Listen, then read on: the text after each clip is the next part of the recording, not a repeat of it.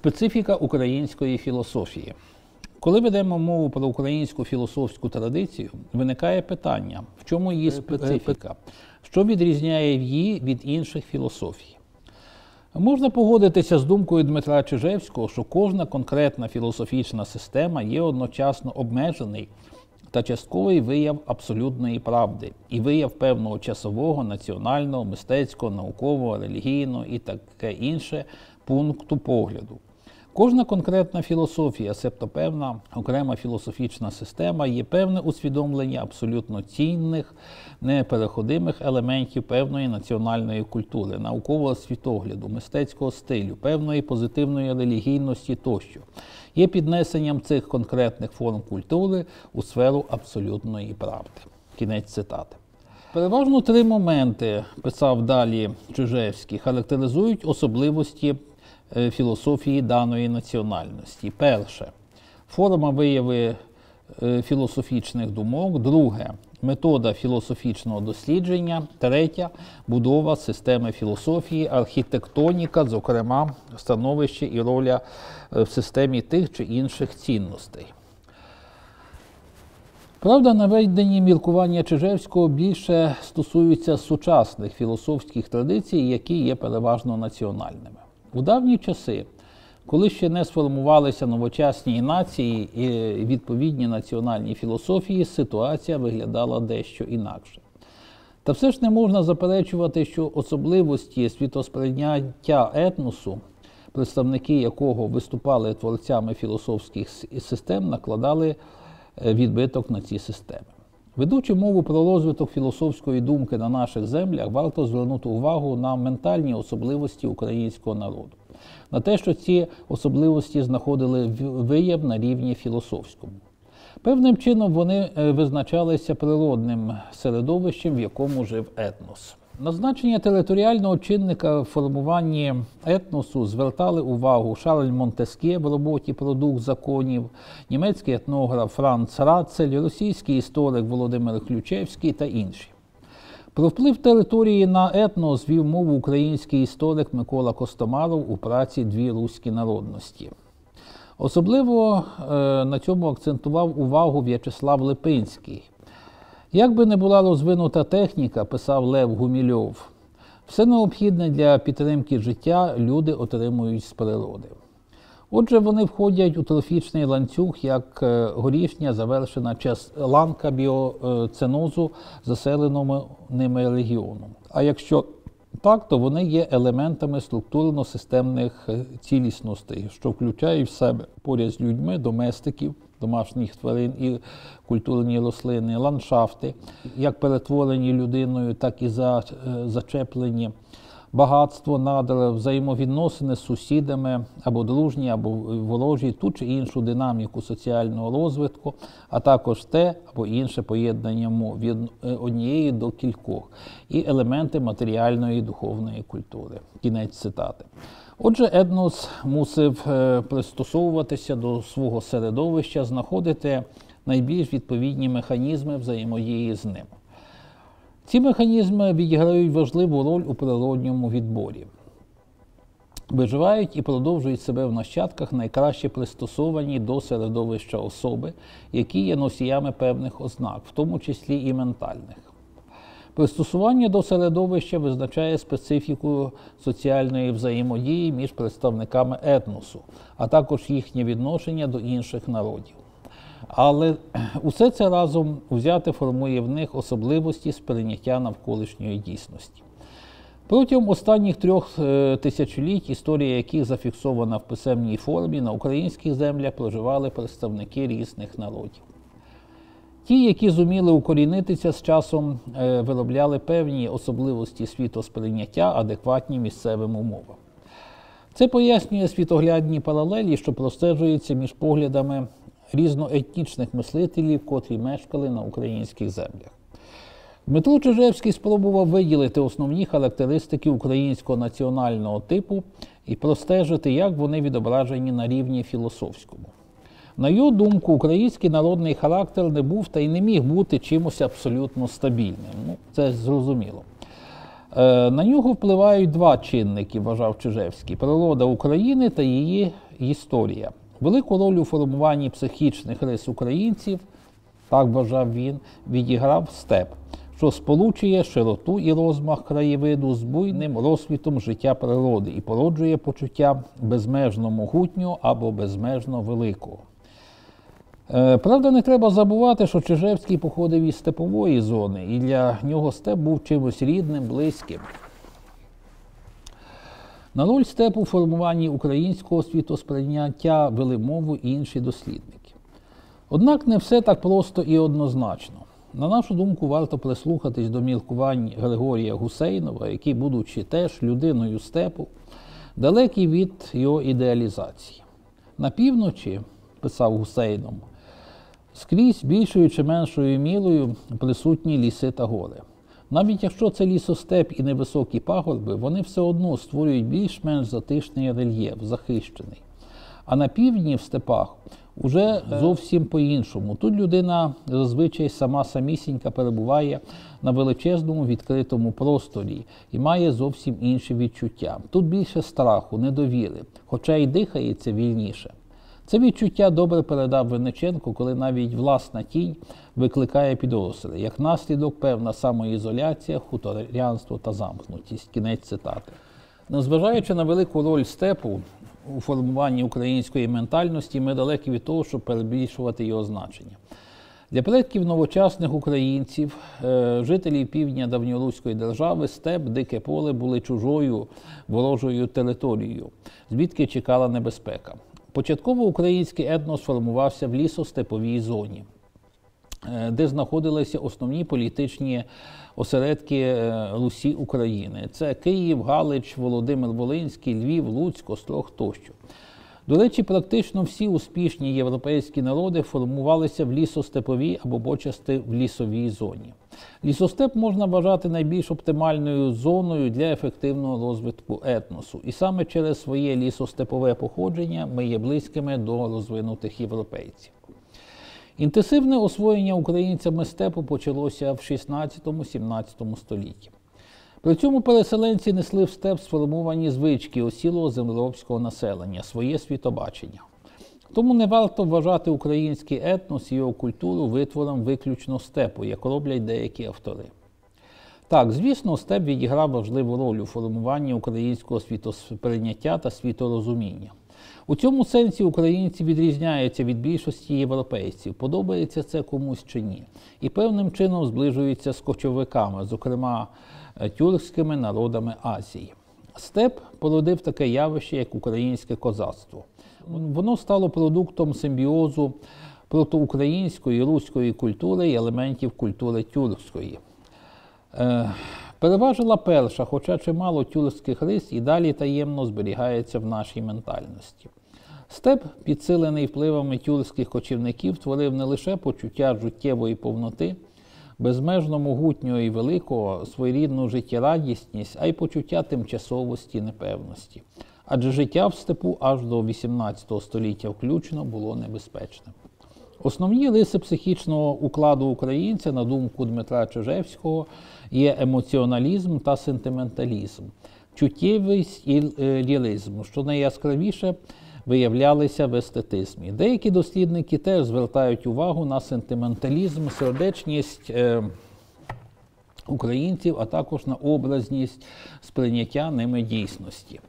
На друге місце Чижевський поставив індивідуалізм та прагнення до свободи. На третє неспокій та рухливість, більш психічні, ніж зовнішні. Власне, всі ці риси, вважав Чижевський, найбільш адекватно в українській думці знайшли вияв у філософії серця, яка виходить з того, що в людській е, е, душевнім житті глибше, ніж свідомі психічні переважання, служать їх основі серця. Е, найглибше в, люд... найглибше в людині безодня, яка породжує себе і зумовлює з собою, так би мовити, поверхню нашої психіки. З багатьма наведеними міркуваннями Чижевського варто погодитися, хоча, на нашу думку, характеристика ним основних елементів української ментальності не є вичерпною. Також не слід перебільшувати в українському філософствуванні значення філософії серця. незважаючи на те, що в українському світосприйнятті емоційність, інтуїція відіграли помітну роль. Питанням української ментальності та її відображення на філософському рівні багато уваги присвятив Іван Мілчук, розглядаючи цю проблему в контексті слов'янської духовності. Він вважав, що духовна енергія в слов'ян має вертикальний, а не горизонтальний характер. Вона зосереджується не в головах геніальних мислителів, е, спеціалістів типу Канта чи Гегеля, а розливається широко філософічними зацікавленнями народних мас.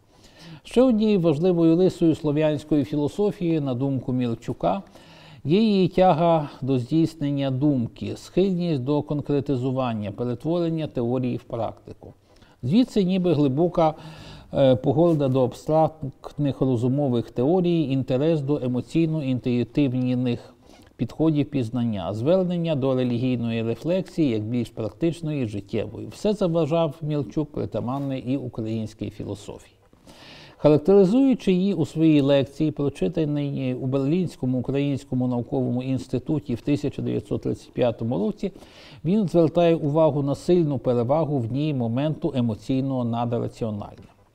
Українські філософи, твердив Мілчук, ставляться дуже скептично до границь людського пізнання. Цим всім, очевидно, зовсім не твердиться, що українці недооцінюють вагу раціонального мислення. Слов'янське, а зокрема, українське мислення є в багатьох пунктах протилежним до думання німецького. Безсистемність замість е, мертвої е, часами систематичності. Але геніальна інтуїція, що за допомогою чуття будує свої конструкції.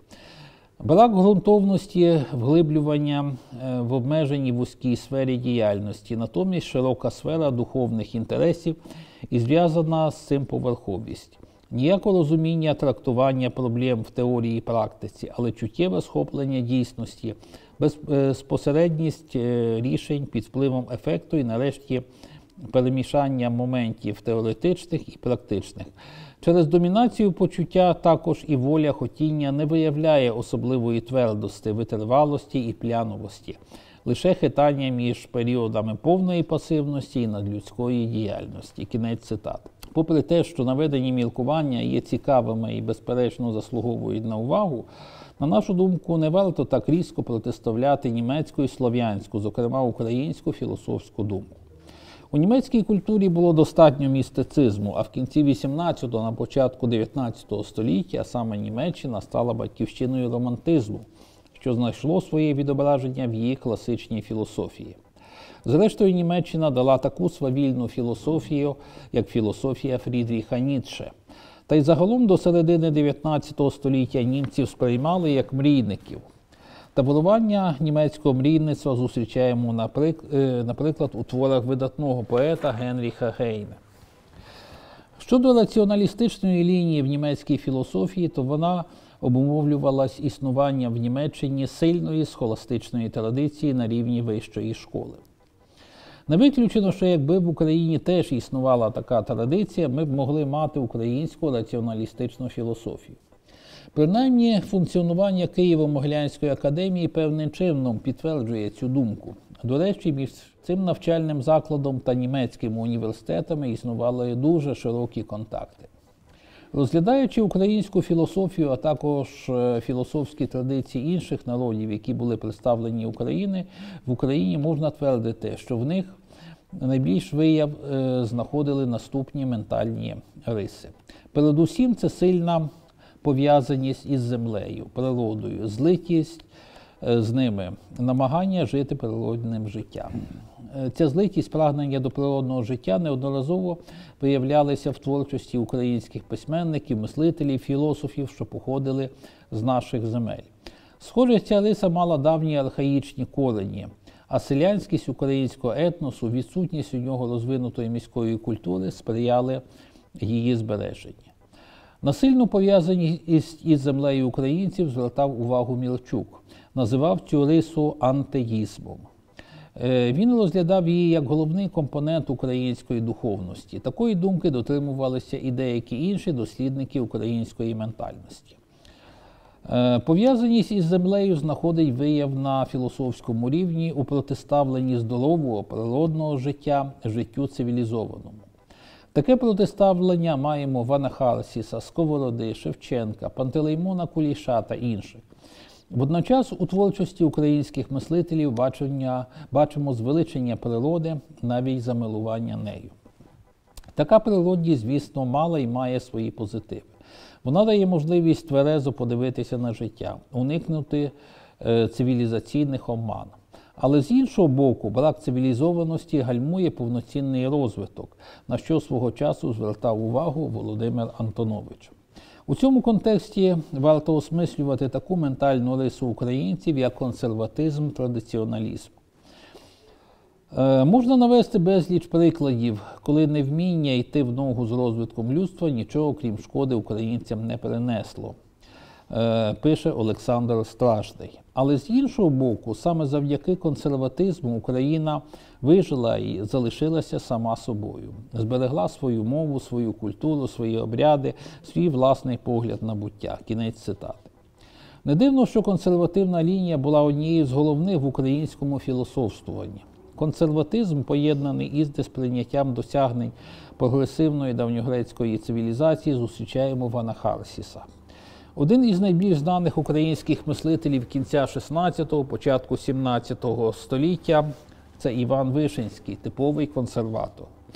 Також консерватизм був притаманний багатьом українським мислителям того періоду, котрих ми характеризуємо як письменників-полемістів.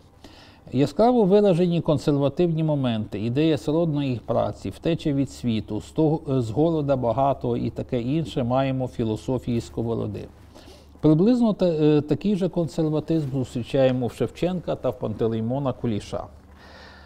Звернення е, до природи, консерватизм визначили й такий елемент українського світогляду, котрий можна характеризувати як концепт роду. Українці традиційно цінували і цінують родові кланові зв'язки. Навіть зараз це е, чітко проявляється, в тому числі і в сфері великої політики. Концепт роду родова свідомість простежується в творчості Герасима і Мелетія Смотрицьких, Дам'яна Наливайка, займають не останнє місце у творчості Тараса Шевченка. Те, що українці, загалом жителі України, намагаються е, не відділятися від природи, не протиставляти себе їй, шанують традиції, родове начало, все це в кінцевому рахунку зменшувало значення раціоналістичної рефлексії. Натомість українці додавали значення рефлексій емоційні, інтуїтивні. Е, тому суттєвою рисою нашої ментальності, яка знаходила вияв на рівні філософствування, є емоційність, чуттєвість. Представлена вона у філософію е, серця, яку е, репрезентували Сковорода, Куліш, Юркевич. У нашому характері, не безпідставно вважав Гончаренко, центральне місце займає чуттєва сфера. Чуття головним чином визначають поступування української людини. Не виход, е, не входимо в причини цього. Очевидно, багатство української природи, клімат, заняття сільським господарством є тому причиною. Обдаровані надміру чуттям ми маємо е, недостатній контроль його з боку інших психічних складників, волі розумових обдарувань. То не зле, що ми багаті на чуття. Якраз ця чуттєва сфера визначає нашу глибоку релігійність, наші моральні і естетичні вартості, які високо підносять українську людину. Але всякі чуття, і позитивні, і негативні, повинні бути під контролем розуму, керовані волею. Бо без цього е, будемо мати розщеплений характер, роздвоєну психіку, постійно будемо руйнувати те, е, що перед тим створили. Кінець цитати. Вказана риса певним чином виводить українську філософію із сфери європейської традиції, е, в якій акцент робиться переважно на раціональності та логічності. Строгі логічно-раціональні філософські течії погано приживалися в Україні. Прикладом може бути Києво-Могилянська академія.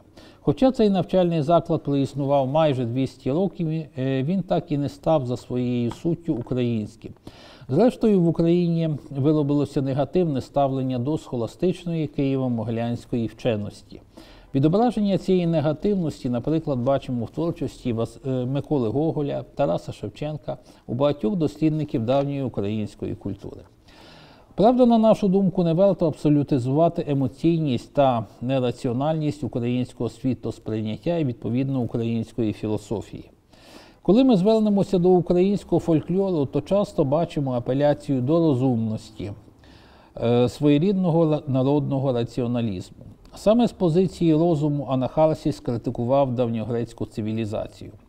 Приблизно з таких же критично-раціоналістичних позицій намагався осмислювати світ український автор кінця 17-го, початку 18 століття Данило Братковський. Специфічна українська розумність, котра виражається в критичному сприйнятті нерозумностей світу, е, проходить крізь творчість Сковороди, Шевченка, Куліша, інших видатних українських письменників 19-20 століття. Зрештою, в Україні поширювалися раціоналістичні вчення, наприклад, соцініанство, котре можна розглядати як предтечу просвітницького раціоналізму. Один із представників цієї течії Андрій Вишоватий, що певний час проживав на українських землях і мав однодумців серед представників української магнатерії, висунув ідею розумної релігії, е, яку потім намагалися втілити під час Великої французької революції. Також довготривале функціонування схоластичної Києво-Могилянської академії, яка мала певну підтримку з боку української еліти, Петра Могили, Івана Мазепи і так далі, теж дає підстави говорити про те, що раціоналізм в Україні не був е, зовсім пропащим. Та все ж, е, певно, варто говорити про переважання, принаймні поки що в українців, емоційності та інтуїтивізму над раціоналізмом. Саме емоційність та інтуїтивізм зближують українську філософію з індійською традицією, про що вже йшлося. Немало наших мислителів робили акцент на внутрішньому самозаглибленні і самопізнанні. Замилування українцями природою, підсилене емоційністю, визначають таку ментальну рису, як естетизм. Звідси намагання українців естетизувати дійсність на рівні побуту культури. Українцям краще вдається виявити себе в мистецькій сфері, ніж у сфері дискурсивній, е, де вимагається раціоналістичний підхід. Тому українці сильні в образотворчому мистецтві, театрі, кіно, поезії. Наприклад, Шевченко е, заробляв на хліб малюванням, е, хоча й прославився як поет. А всесвітньо відомий батько поп-арту Енді Ворхол, Андрій Ворхола, українець за походженням, виявив себе передусім як художник. Однак українцям не талановить у прозі, тим більше в творах дискурсивного характеру. Це ще одна причина того, чому українські мислителі, які е, намагаються представити філософські ідеї, часто роблять це в олітературній формі. Братковський, Сковорода, Пантелеймон Куліш, Леся Українка, Іван Франко, Володимир Винниченко, е, Улас Самчук, Василь Стус та інші. Злиття з природою, бажання уникнути цивілізації було однією з причин того, що українець втікав і втікає від світу, намагається облаштуватися на хуторі, створити свою хату з краю. Іноді це е, виливалося в широкі суспільні рухи, створення Запорізької січі, формування українського козацтва, Махновщина, е, різного роду отаманщина під час так званої громадянської війни 1918-20 років. Звідси специфічний український індивідуалізм. Його не варто ототожнювати з індивідуалізмом європейським, що сформувався в умовах міського життя. Міста в, е, середньовічній Західній Європі ставали своєрідними осередками свободи, де міське повітря робили людину вільною. Сюди часто втікали енергійні активні особистості, які не хотіли коритися феодальному визиску. Міське життя давало кращі можливості для реалізації власного я і в кінцевому рахунку сприяло розвитку вільного індивідуалізму. Однак життя в західноєвропейському місті вимагало дотримання відповідних правил, законів, що, зокрема, знайшло вияв у Магдебурзькому праві. Без належного дотримання цих правил функціонування міст робилося проблематичним. Тому сформоване в Західній Європі уявлення про свободу, вільний індивідуалізм мислилося в межах закону. Я можу робити все, що мені заманеться, але не порушуючи загально прийнятих правил. В Україні склалася інша ситуація. В силу різних історичних обставин тут не настільки інтенсивно розвивалося міське життя. Та й зрештою українські міста не стали осередками свободи, як це було на Заході. Такими осередками в Україні е, були неосвоєні землі, дике поле, степ, така собі первозданна природа, куди втікали люди, шукаючи волі. І не лише від пана землевласника, а й від держави, її законів. Не дивно, що в степу козакували, окрім селян міщани, е, також е, потомки колишніх бояр, представники шляхетських родів і навіть неспокійні князі типу Дмитра Вишневецького Байте. До того ж, як вважають деякі дослідники, степ породжував і породжує в людині почуття безмежної волі. Очевидно, історичні чинники, поєднані з географічними факторами, сформували в Україні своє розуміння волі та індивідуалізму. Українець не визнає закону, чітко усталених норм поведінки, накинутих зовні. Для українців свобода це воля, навіть сваволя, без обмежень, наближена до анархії. Щодо індивідуалізму, то він мислиться як втеча від світу. Тому в українській історії, філософії та українській культурі на перший план виступали ті особистості, які були носіями саме такого типу індивідуалізму і такої сваболі свободи.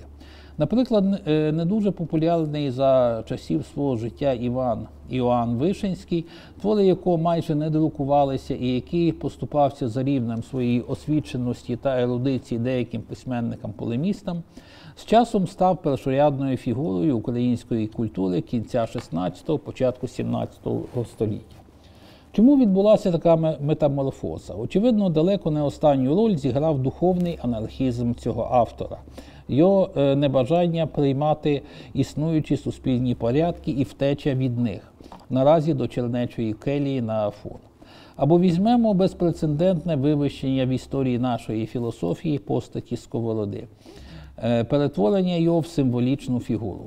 Не вдаючись зараз до аналізу поглядів цього мислителя, зазначено, що для більшості українців вони не дуже відомі. Однак їх імпонує передусім біографія Сковороди, те, що він втікав від світу і що світ його не спіймав.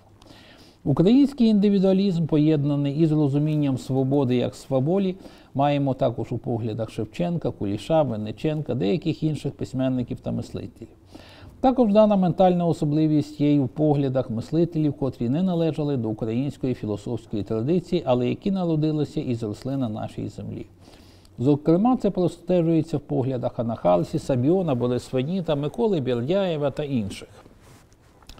Несприйняття чи погане сприйняття українцями цивілізації втеча від неї часто набирає не стільки зовнішнього, скільки внутрішнього характеру і веде до формування специфічного українського гумору. Він, незважаючи на м'якість, орієнтує на іронічне сприйняття світу як чогось несправжнього, такої собі гри, сансари, суєти суєт. Мудрий чоловік не повинен сприймати його всерйоз. Через те гумор трактується як своєрідна мудрість. І він, як би це не звучало парадоксально, стає складником українського філософствування. Гумор яскраво виражений у філософії Біона Борисвельніта, еліністичного мислителя, який походив з України. Простежуються вставлені е, до реалії життя у Герасима Смотрицького, Іпатія Потія, Івана Вишинського, Григорія Сковороди, Миколи Гоголя, Тараса Шевченка тощо. Отже, українська філософія, хоча й перебуває в руслі європейської філософської традиції, є далекою від її класичних зразків. Тому підходити до неї з критеріями притаманні цій традиції не варто. Е, при такому євроцентричному підході, а саме він переважає при розгляді історії філософії в Україні, ризикуємо багато що втратити, випустити з поля зору. Варто усвідомити, ми маємо свою мудрість, свою специфічну філософію. І не треба комплексувати з приводу того, що в нас не було великого філософа, який би утворив синтезу світового значення, як це робить Чижевський. Можливо, ідея Анахарсіса чи Сковороди, Шевченка чи Лесі Українки для нас є не менш цінні, ніж ідеї великих філософів. Та й чи тільки для нас. Ми бачимо, що сучасна західноєвропейська філософія відходить від чисто раціоналістичного підходу, шукаючи для себе можливості інтуїтивної та емоційної рефлексії. А саме це й притаманне українській філософській традиції.